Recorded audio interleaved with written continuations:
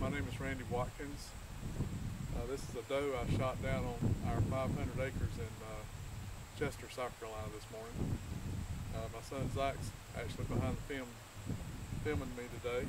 Um, wind's blowing a little bit out here, so I hope you can pick up the voice recognition okay, but if not, at least you can see what I'm actually doing in the process. I'm going to walk through the process of deboning a deer. Um, I'll tell you the steps I'm going to do first, and then I'll come, we'll actually start the process after that. I'm going to actually make a cut up the inside of this back leg. I'm going to come across the back.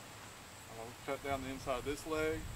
I'm going to rip the sides all the way down, past the front legs to the neck on both sides.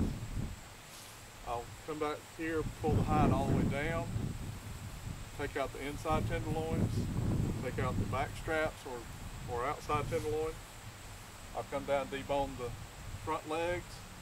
I'll de debone the neck if we can. This deer's probably about 115, 118 pounds probably.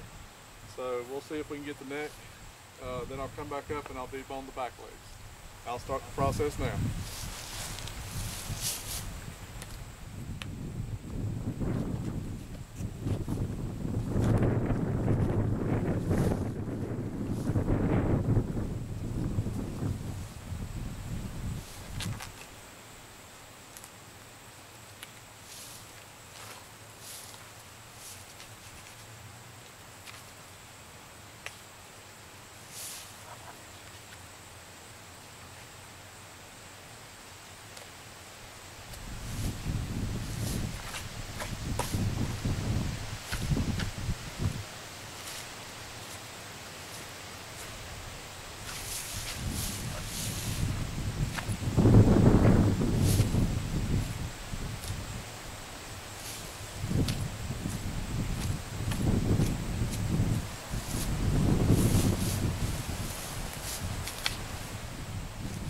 Alright, I'm going to go ahead and actually take out the inside.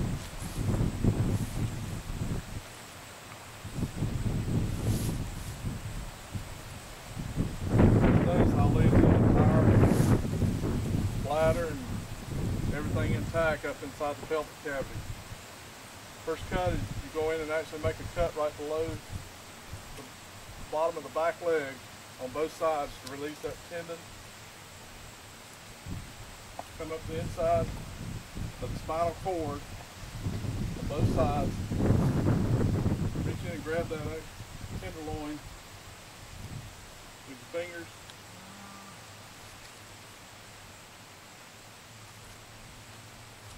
And fillet it out.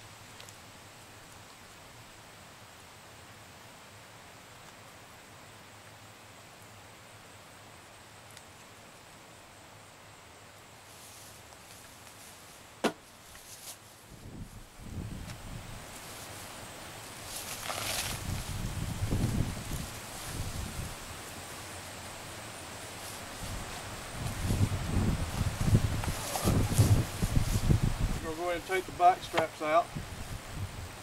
Cut right on both sides of the spine, all the way down to the neck.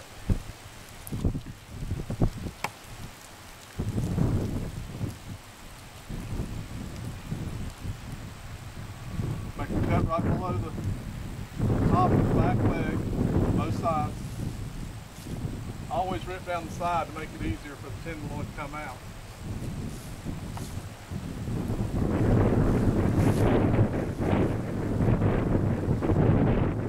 At this point, you just basically lay it off the, lay it right off the bone, right off the spine.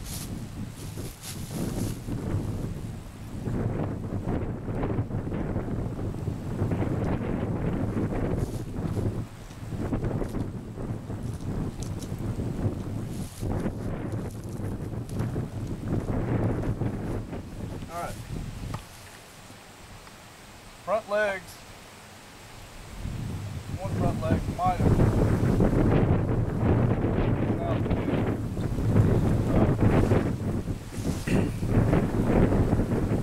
Got, got some blowback here on the back side of this front leg. First thing I'm going to do is cut away a little bit of that.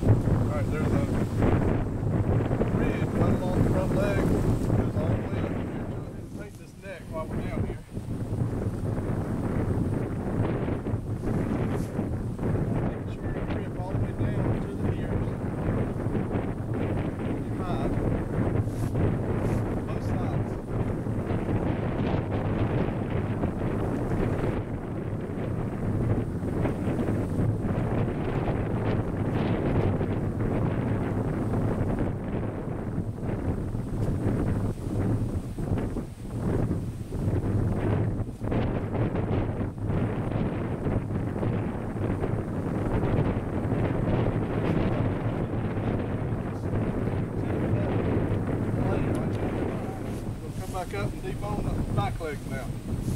First thing you do on the back legs,